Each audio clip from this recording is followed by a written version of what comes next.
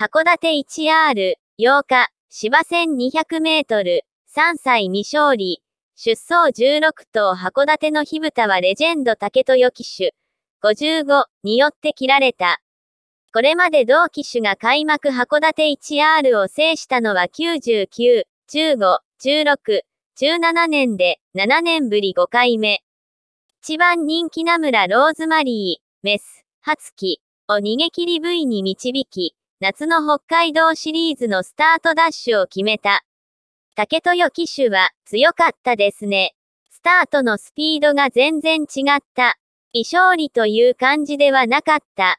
時計もいいです。芝はめちゃくちゃいい。開幕からいいスタートが切れました。と勝利を喜んだ。函館の競馬ファンがウィナーズサークルに集まり、豊かおめでとう。の声と拍手で湧いた。